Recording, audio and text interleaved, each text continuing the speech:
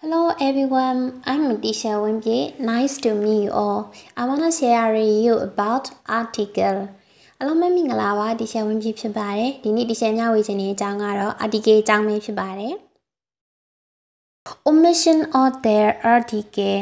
article တဲ့ကို omission ဆိုတာလုံးဝထည့်လို့မရတဲ့နေရာ omit ဆိုတာနော်ထုတ်ထားတာပေါ့နော်လုံးဝသုံးလို့မရတဲ့နေရာရှိပါတယ်အချက်ဘယ်နှချက်ရှိလဲဆိုလို့ချင်း6ချက်ရှိပါတယ်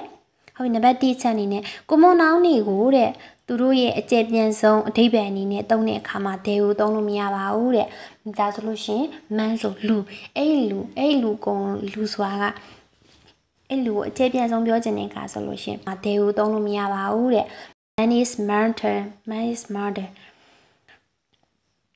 လူစားတင်မျိုးပဲလို့ပြောချင်တာပါဒါဆိုလို့ရှိရင်ဘယ်လိုမျိုးပြောချင်တာလဲဆိုလို့ရှိရင် mankind လူတစ်မျိုးလုံးကိုဆိုလို့ချင်တဲ့အခါ ဒါဆိုလို့ရှိရင်လူတွေအကုန်လုံးကလူတွေအကုန်လုံးကိုပြောချင်တဲ့အခါဖြစ်တဲ့အတွက်လုံးဝအကျေကြီးကြည်ကြည်ပြည့်ပြည့်ညီသုံးမလိုက်တာမို့လို့ကိုမွန်နာကိုကြည်ကြည်ပြည့်ပြည့်ညီသုံးမလိုက်တာမို့လို့ဒါကြောင့်မဟေရှိမှာအတိကလုံးဝသုံးလို့မရပါဘူးเนาะဟုတ်ပြီနောက်တစ်ခု what kind of tree is this ဒါကဘလို့တစ်ပင်အမျိုးအစားလဲ ဒါဘလို့တစ်ပင်အမျိုးအစားလဲဒီတစ်ပင်တစ်ပင်လေးကိုပြောလာမဟုတ်ပါဘူးတစ်ပင်ကြီးအကုန်လုံးကိုပြောချင်တာပါတစ်ပင်ကြီးဆိုတာဘလို့မျိုးစားလဲလို့ပြောချင်တဲ့အခါမှာပြောချင်နေတာဖြစ်တဲ့အတွက်အဲ့ဒီရဲ့ tree ရဲ့ရှေ့မှာတစ်ခုလုံးကိုစားပြောတဲ့ကိုသုံးလို့မရပါဘူးနံပါတ်2အမည်ရဲ့ရှိမှထည့်ထားတဲ့ဘွဲ့နာမည်ရဲ့ရှိမှဆိုလို့ရှိရင်လည်း article ကိုသုံးလို့မရပါဘူး person name အနေနဲ့ဆိုလို့ရှိရင် general အောင်ဆန်းဒါဆိုလို့ရှိရင်ဘိုးချုပ်အောင်ဆန်းဘိုးချုပ်အောင်ဆန်း ဘွဲ general ဆိုရဲဘွဲရှိရဲ့အောင်ဆန်းဆန်နာမည်ရှိမှဆိုလို့ရှိရင်လုံးဝတဲ့ကိုသုံးလို့မရပါဘူးတဲ့ general အောင်ဆန်းလို့လုံးဝသုံးလို့မရပါဘူး general အောင်ဆန်းအဲ့လိုပဲသုံးလို့ရပါမယ်ပြီးရင်ဆရာဦးအောင်ပြီးရင် Lord Buddha မြတ်စွာဘုရား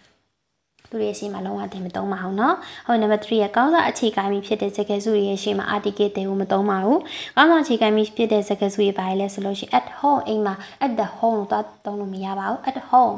အိမ်မှာ at dinner ညစာစားနေရ at school ကျောင်းမှာ at sunshine နေထွက်လာတဲ့အချိန်မှာ at noon at noon နေ့လေမွန်းတဲ့ချိန်မှာနေမွန်းတဲ့ချိန်မှာ at sunset နေဝင်ချိန်မှာအဲ့လိုမျိုးအစရှိရဲ့ by hand by bus ပြီးအင်းနေနဲ့ဆိုလို့ရှိရင်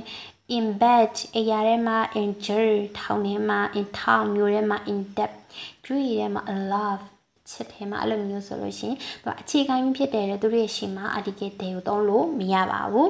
number 4ကန်ယူကရိယာတစ်လုံးနဲ့အဲ့ဒီကန်ပါအဲ့ဒီကန်นี่ပါဝင်ကြတဲ့ကောင်းစွာအခြေခံပြီးဖြစ်တဲ့စကားစုတွေရဲ့ရှိမှာဆိုလို့ရှိရင်လေ article တွေကိုသုံးလို့မရပါဘူး basic စကားစုတွေလည်းဆိုလို့ရှိရင် cut fire take care take heart take leave take place give ear to give give back to မွေးဖွားလာတာ ပြီးရင် lose her စိတ်လျှော့ပလိုက်တာ set foot set say go home လို့စကားစုတွေရရှိမှာ go a home တော့တုံးလို့မရပါဘူးเนาะ cash fire လို့လည်းတော့လုပ်လို့မရပါဘူး cash fire ဒါသူကသူကနဲ့သူကန်ယူကရိယာနဲ့အဲ့ဒီနဲ့နောက်မှာရှိရဲ့နောက်နေရတီစာတွဲလဲလာပြီးသားမလို့သူရဲ့ရှိမှာဒေကိုတုံးလို့မရပါဘူးတဲ့ ဟုတ်ပါရင်5ကပုံကိုယ်ရဲ့အမည်တိရစ္ဆာန်ရဲ့အမည်တားနိုင်ငံမြို့ရွာရဲ့အမည်ရဲ့ရှိမှာဆိုလို့ရှိရင်ပြီးရင်စိတ်တစားနံနေဒိဗနံနေရဲ့ရှိမှာဆိုလို့ရှိရင်တဲ့ article တဲ့ကိုမတော့ရပါဘူးဒီမှာစိတ်တစားနံနေဒိဗနံနေဆိုတာကိုဒီရရှိကနောင်အကြောင်းပြောပြရင်လည်းပြောပြခဲ့ပြီးပါရင်เนาะဘာကြီးလဲဆိုတာလည်းသိမယ်လို့ထင်ပါတယ်ဟုတ်ပါ for example ကြည့်ရအောင် Bagan is in central Myanmar Bagan ဆိုလို့ရှိရင်မြန်မာနိုင်ငံရဲ့အလယ်မှာတည်ရှိရဲ့ ဟုတ်ပြီ honesty is the best policy ရိုးသားခြင်းရဆိုလို့ရှိရင်အကောင်းဆုံးမူဝါဒတစ်ခုဖြစ်တယ်တဲ့ဒါဆို honesty ရိုးသားခြင်းဒါဆိုစိတ်တစားနဲသူကဟောသူကရိုးသားရဲ့ဒါပေမဲ့သူရိုးသားတာကိုဘာမှပြလို့မရဘူးဒါကြောင့်သူကစိတ်တစားနဲ့ဖြစ်တယ်သူရှိမှတဲကိုတုံးလို့မရဘူးเนาะ ဟုတ်ပါရင်ဒါပေမဲ့ for example အနေနဲ့ဆိုလို့ရှိရင်တော့တဲ့ဒါပြောထားရဲ့နောက်နောက်တဲ့ note တစ်ခုရှိပါတယ်ဒီဒိဗ္ဗနန်နေစိတ္တဇနန်နေကိုတီးခြားဖြစ်တည်တီးခြားအနေနဲ့တီးခြားအောင်ပြုလုပ်ပြီးတော့မှဖော်ပြခြင်းတဲ့အခါမှာဆိုလို့ရှိရင်တော့ဒေကိုသုံးပါတယ်တဲ့ဆန္ဒတီချက်ပြောခဲ့သလိုပဲ the water in the jar is boiling water ဒီခရာတွေကရေကစူပြီးသား ယေရှုဆိုထားရည်ဖြစ်တယ် in that device အကြံဉာဏ် that he gave me is very even မင်းငါ့ကိုပေးတဲ့အကြံဉာဏ်ကဆိုလို့ရှိရင်တိတ်တန်မှုရှိရအကြံဉာဏ်ဘေးအကြံဉာဏ်လည်းမင်းငါ့ကိုပေးအကြံဉာဏ်တိတိကျကျအနေနဲ့တိတိကျကျဖော်ပြထားတာမျိုးပါဒါကြောင့်သူ့ရဲ့ရှိ advice ရဲ့အကြံဉာဏ်ရဲ့ရှိမှာဒေကိုသုံးပါတယ် number 6ကိုမိုနာရဲ့ရှိမှာအာတိကေတင်မတုံးရပါဘူးတဲ့ကိုမိုနာအများကြီးနေရဲ့ရှိမှာနော်ကိုမိုအမြင့် ကိုမွန်နောင်းနေရဲ့ရှိမှာဒေကိုမသုံးရပါဘူးတီးတန်းဖြစ်အောင်ပြုလုပ်ထားခြင်းတော့ဒေကိုသုံးရပါတယ်ဟုတ်ပါပြီပြောချင်တာကိုကြည့်အောင် flowers beautiful ပန်းနေရတိတ်လှတာပဲဒါဟာပန်းနေရလှလိုက်တာဒါဆိုလို့ရှိရင်ဒါဆိုရိုးရိုးလေးပဲပြောလိုက်တာဒါပေမဲ့ပန်းနေရလှလိုက်တာဒါပေမဲ့နောက်တစ်ခုထပ်ပြောချင်တဲ့အခါမှာဒီဥယျာဉ်ထဲမှာရှိတဲ့ပန်းနေရလှလိုက်တာဒါဆိုလို့ရှိရင်ဘေးဘေးကပန်းလဲပန်းနေကုန်လုံးမဆိုလို့တော့ဘာလို့ဆိုတော့လဲဒီဥယျာဉ်ထဲမှာရှိတဲ့ ပန်းနေရပဲလှတာဒါဆို for example ကြည့်ဟာ the flowers in the garden are beautiful ဒီ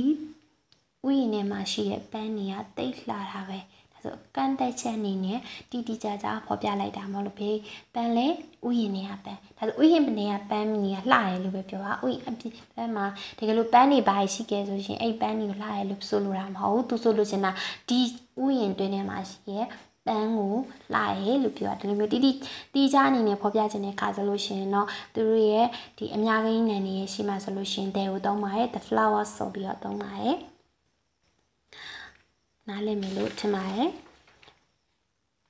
ဟုတ်ပါပြီနောက်တစ်ခေါင်းစဉ်တစ်ခုကြည့်အောင်နောက်တစ်ခေါင်းစဉ်ကကြတော့ repetition of article article ကိုထပ်ခါထပ်ခါအသုံးပြုခြင်းဘေးချင်းဒီမှာဘယ်လိုသုံးလဲဆိုတာကိုရှင်းပြသွားမှာဖြစ်ပါတယ်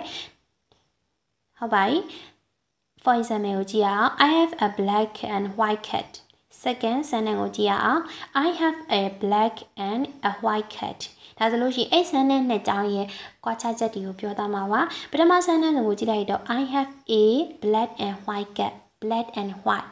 ဖြူနဲ့အနက်နည်းနည်းအဖြူ နည်းနည်းအဖြူမှာရှိမှာ article 8ဆိုတဲ့တစ်လုံးလေးပဲပါတာเนาะဒါဆိုလို့ရှိရင်ပထမဝါကြမှာပြောချင်တဲ့ article 8တခုတည်းပါလို့မနော်နဲ့အဲ့ဒါကြောင်တစ်ကောင်တည်းကိုပဲရည်ညွှန်းတာအဲ့ဒီကြောင်ကဘလို့ဖြစ်နေတဲ့ကြောင်လဲဆိုလို့ရှိရင်အဖြူရောအနက်ကောရောထားတဲ့ကြောင်ကိုပြောချင်တာကြောင်တစ်ကောင်တည်းကိုမှမှ